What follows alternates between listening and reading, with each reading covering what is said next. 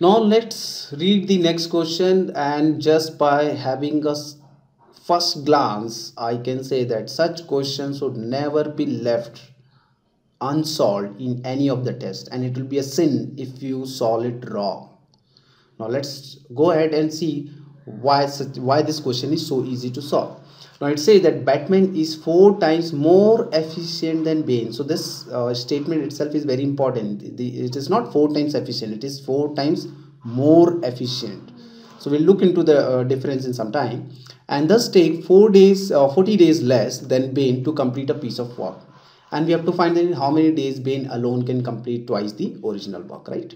So let's start with the solution. So if I assume that uh, say say Batman, let me take that Batman takes X number of days, right?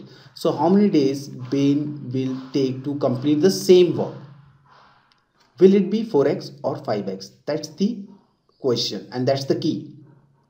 Because if I take 4x, say say if i take 4x then what will you say or what will you say about the efficiency of batman compared to bane? I can say that batman is four times efficient than bane. So i'll say it is four times efficient right?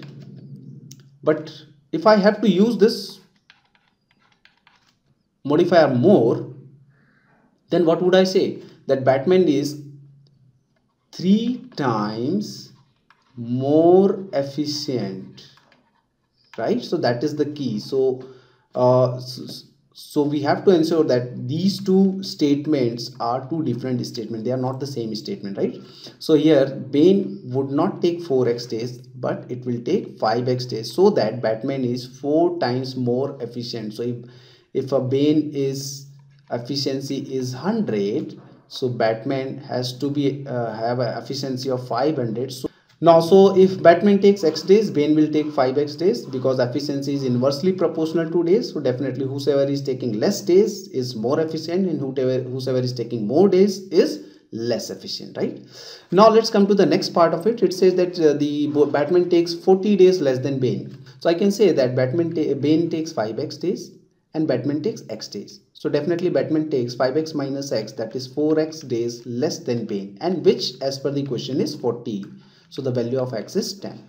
So we straight away have got the value uh, or the number of days taken by Batman to complete that work, right? And that is 10 days. So how many days Bane will take to complete that work? It will take 50 days, right?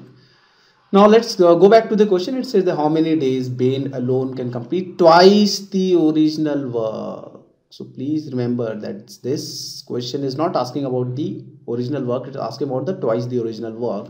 So the answer for this will be 50 into 2 because this these are the small things wherein many of the student basically after getting everything logic etc equation everything right they mark the wrong option. You have to read the question before marking the option. Make it a habit